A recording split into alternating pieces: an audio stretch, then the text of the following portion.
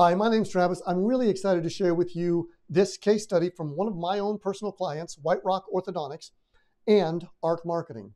What we did is we looked for opportunities. This is what you do in internal marketing. You look for opportunities. Now, if you don't have the proper tools, you can't do that.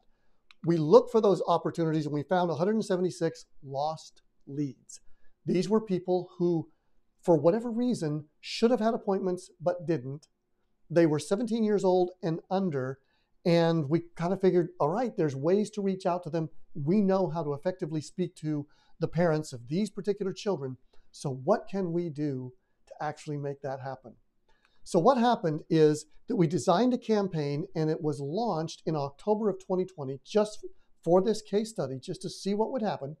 So, in October of 2020, we launched the campaign. We watched the data over the over the month of October and then November and then December. And what I'm sharing with you is after three months of data, what do we actually get? So we found the information through AVA and we launched the campaign through AVA. Without a great tool, you can't make great things happen. So, what was the ROI? What actually happened with this particular set of data?